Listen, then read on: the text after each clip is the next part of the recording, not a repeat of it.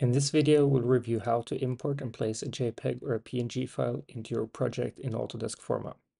We'll start by navigating to Library, then click on Import. Find your JPEG or PNG on your computer or drag them onto the screen. Your file will take a few moments to upload. Once it's ready, you'll see a preview in the viewer. Click Save and Close. You'll now see the image on the list of items in the library. To add the image to your canvas, click on the image icon. You will enter a place mode and you can place the image anywhere on the canvas. At this point, the image will not be scaled or rotated correctly, so it doesn't matter where you add it.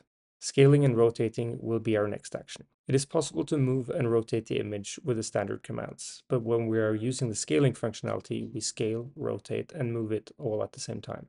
To do this, double-click on the image and click on the tool that appears in the toolbar. This will allow us to redefine the reference points. Start by placing a node on the image corresponding to a place where you can find on your canvas. Corners of buildings are often good points to pick. It is wise to select the second node to be far away from the first to achieve a high level of accuracy. Now that you've selected two nodes, the image will become slightly transparent to help you move those two nodes to where they are on the canvas.